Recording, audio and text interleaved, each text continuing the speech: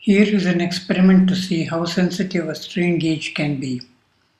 The strain on a cantilever beam in bending can be readily determined from its dimensions and using a standard formula.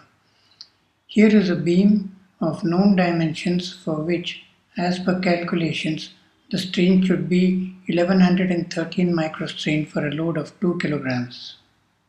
A Micro-Measurements CEA type strain gauge is bonded to it and connected to a model P3 strain indicator.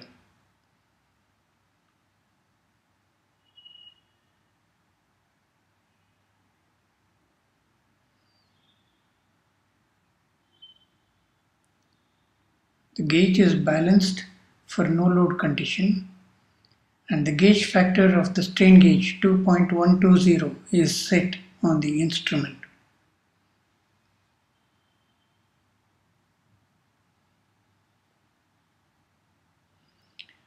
When loaded with a 2 kg weight, the model P3 gives a reading very close to the calculated value, confirming the correctness of the strain measurement.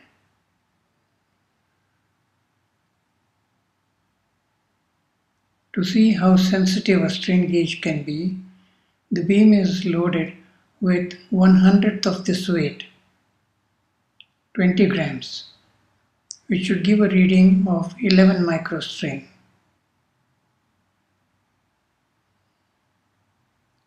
For 10 grams weight, the reading should be 5.5 microstrain. For 5 grams weight, it should be 2.75 microstrain.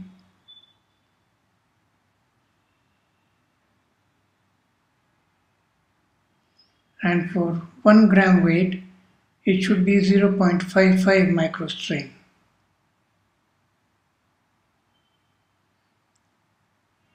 This does not show on the display as the least possible reading is 1 microstrain. However, we can increase the sensitivity of model P3 by 10 times by setting the gauge factor 10 times lower to 0.212.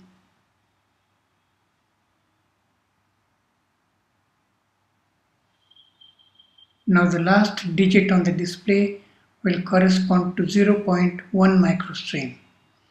With 20 grams on the beam, the reading should be 11.1 microstrain. With 10 grams, it should be 5.5 microstrain. With 5 grams, it should be 2.7 microstrain. And with 1 gram, the reading should be 0.5 microstrain.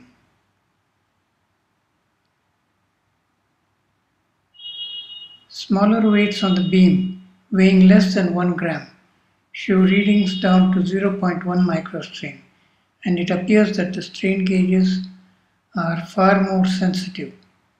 The onus is on the readout instrument to resolve and display fractions of a microstrain. But for this, it is important to have a gauge installation of very high quality and a very stable and accurate strain measuring instrument.